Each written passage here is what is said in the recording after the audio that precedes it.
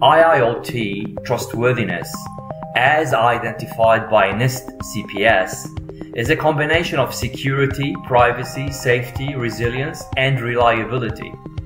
As the services they provide are critical to the livelihood of millions across the country, as it's the backbone of the new smart cities, and there is much at stake. Securing industrial IoT deployment against cyber threats remains a major challenge. The Internet Engineering Task Force defined IoT as a network that connects uniquely identifiable things to the Internet. The things may be sensing, actuating, with potential programmability interchanging capabilities. ICS SCADA control components are made of the following control servers, master terminal units, remote telemetry units, sensors, human machine interface, data historian, which is the centralized logging database service.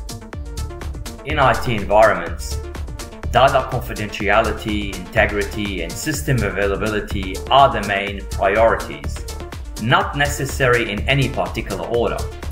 While in OT, availability takes first priority and always after people's safety. Safety ensuring in the event of an attack that the affected system does not cause injuries, harm, or damage to the environment or people. As well resilience, ensuring the industrial control system maintains state awareness and an accepted level of operation normalcy in response to disturbance, including threats of an unexpected and malicious nature. Some common types of attacks are ransomware, network protocol attacks, cryptographic and key management attacks, spoofing, data corruption attacks, denial of service and service jamming, physical security attacks, access control attacks, privilege escalation. Threat modeling within industrial IoT contexts is specified in six steps. Identify assets to protect, and you can find that in many of the frameworks, cybersecurity frameworks, starting with identifying the assets that you need to protect.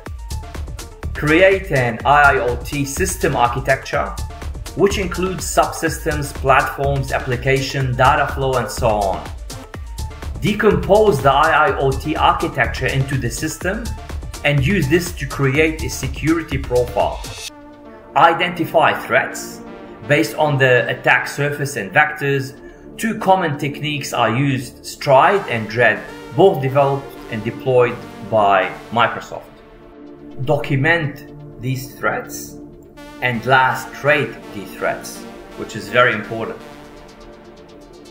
The best cybersecurity architecture design for a production plant is to keep the OT and IT networks separated from each other both logically and physically, keeping the OT environment isolated and air-gapped from the internet.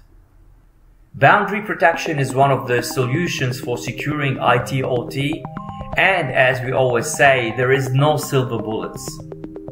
The most common first line of defense between internet work segments is a firewall.